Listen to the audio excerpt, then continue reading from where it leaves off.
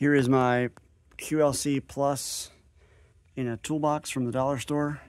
We have a Pi Zero 2W. We have a little op amp that I wired up to two um, 5-pin XLR connectors.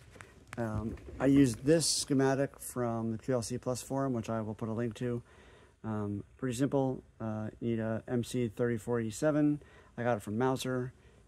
And you also need a capacitor and some sort of project board. I use, I don't remember exactly what these were called. It was something cookie. You can kind of see the words there.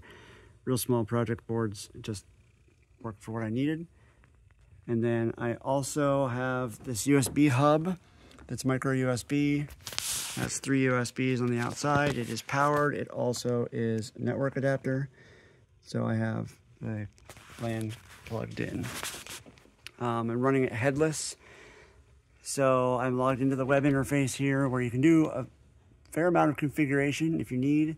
Um, I can turn on the stage lights, turn off the house lights. That's all working. Sort of hard to see in the camera, but you get the idea. Um, and in here, if I go to the config tab, if you're not familiar with QLC, there's some um, basic config for where the universes get their output from. And in the system setup for this, you can set up a um, what project loads when you uh, boot the Raspberry Pi.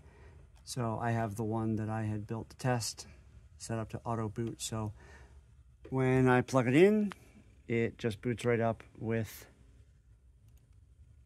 this.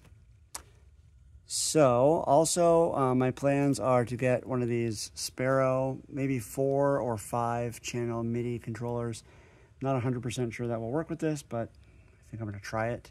Um, that way on the sound booth desk, we can actually have a couple physical faders for lights and um, I think that will just make things uh, very user friendly. So we're going to run this for a while, see how it works. From what I've heard from other people, uh, pretty robust and uh, reliable.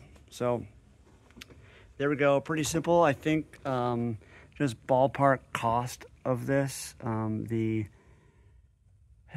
under $200, um, probably more like 150 um, until you count all the little cables and um, USB adapter, uh, USB power brick, and the Pi, and the project board, and the op amp, and the panel mount XLR connectors, and just all the little gadgets. And also, I did buy the $30 uh, QLC Plus uh, Raspberry Pi image, which made things really easy.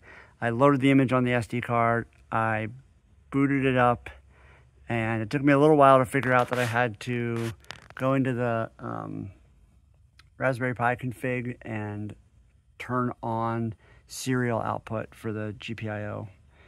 And once I did that, it worked. So very simple setup and see how it works over time.